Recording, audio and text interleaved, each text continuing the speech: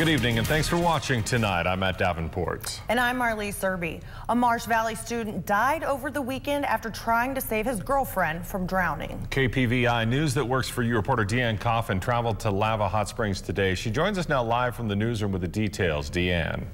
Thanks, Matt and Marlise. It's a bittersweet ending to a tragedy that happened in Lava at a popular swimming hole. One family is grieving over the loss of a son, while another family is thankful for his heroism that saved their daughter's life.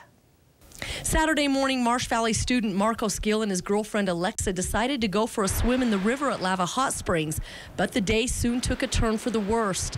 Alexa jumped in first in a calm area of the river, but quickly got sucked into a deeper area and was struggling to get out. That's when her boyfriend Marcos jumped in to help her. He went underneath of her and pushed her up to the surface where she was able to get out and get back to shore.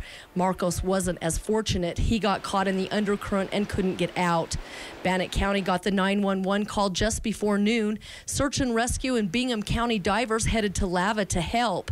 Marco's body wasn't recovered until about three hours later due to the high swift waters. Alexa's mom says the message she would give to Marco's family is that they are forever grateful for their son's bravery. That they, they raised a hero and he will never be forgotten by any of us. He saved my daughter. Marcos Scoutmaster came to the spot where it happened to reflect on his life. He says Marcos was a great person and a good friend to everybody. Always made things more fun, more more exciting. And you know, if somebody needed saving, doesn't surprise me, he would have been the first one to jump in. I mean, the girlfriend or somebody he didn't even know, he, he would have been the first one. That's just the kind of person he was and we're going to miss it. Sheriff Nielsen tells me this is the area where the kids got into the water, and it's a popular swimming hole here in Lava Hot Springs. But this time of year, with the runoff season, the water is cold, it's deep, and the undercurrents are extremely powerful. Now, this is the time where we have runoffs, uh, and, and it'll last for several weeks. Uh, the river is very, very high. We have flood warnings all this weekend.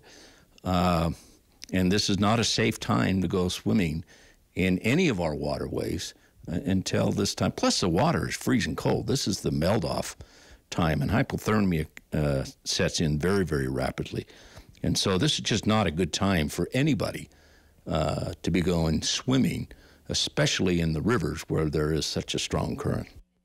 Now, there's a, also a GoFundMe page set up to help Marco's family with funeral expenses. expenses. Reporting live in the newsroom, I'm Deanne Coffin, KPVI News that works for you. Okay, thank you very much, Deanne.